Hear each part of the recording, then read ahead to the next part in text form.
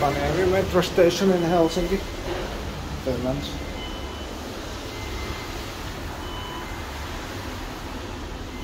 This one has three sides.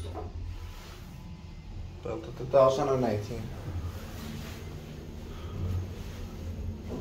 4305031. 13 persons on 1000 kilograms.